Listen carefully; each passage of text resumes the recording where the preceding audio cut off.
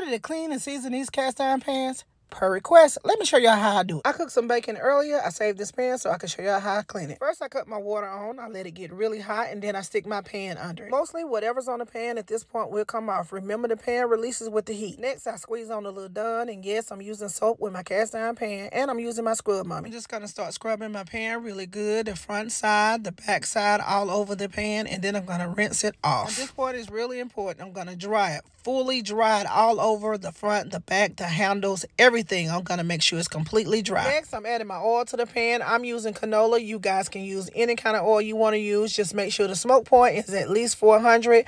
So now I'm just taking that oil, rubbing it all over my pan on the front. I'm rubbing it all over the back. I'm rubbing my handles, just making sure I cover each and every part of that pan. Now that I'm finished buffering my pan, I'm going to throw it in a 400 degrees oven upside down for about 25 minutes. Now I'm all done and Betsy's ready for another run around the stove. Oh,